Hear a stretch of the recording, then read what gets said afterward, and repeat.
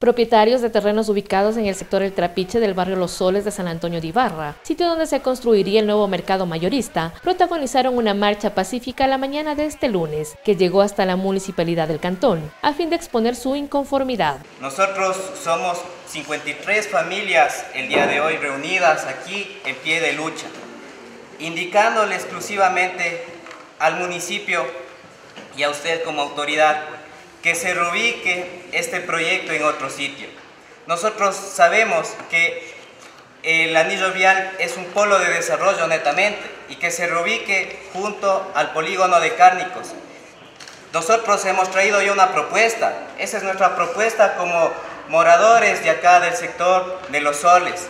Queremos que nos acojan esa propuesta y que la analicen técnicamente los ciudadanos que fueron recibidos por el vicealcalde del cantón se sienten afectados por la resolución administrativa del anuncio del proyecto en el sector, con una extensión de 28.6 hectáreas y una afectación a 44 predios y 37 propietarios. Estas 28.6 hectáreas, señor vicealcalde, son los terrenos más productivos inclusive del sector de Ibarra.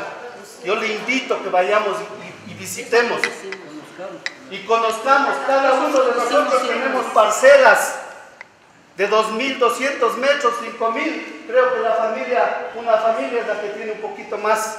Aseguran que la preocupación se debe a que las familias del sector se dedican a la producción de alimentos mediante procesos de agricultura familiar campesina para el autoabastecimiento y la comercialización. Nosotros vivimos de la tierra, señores.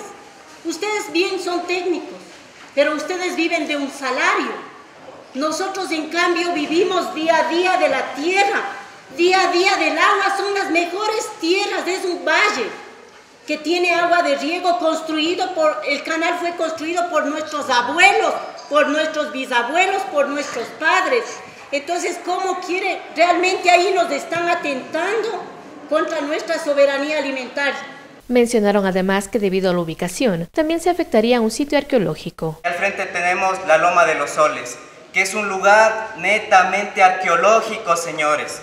No podemos decir que, que, que no tenemos afectación. Nosotros tenemos afectación arqueológica debido a que ahí existe un cementerio para la cultura caranqui. Aseguraron que se mantendrán firmes y continuarán con las medidas hasta lograr la reubicación del proyecto. Por su parte, el vicealcalde del cantón manifestó que hará llegar todo lo expuesto a la alcaldesa de Ibarra. Con imágenes de Diego Martínez para TVN Canal Gabriela Garcés.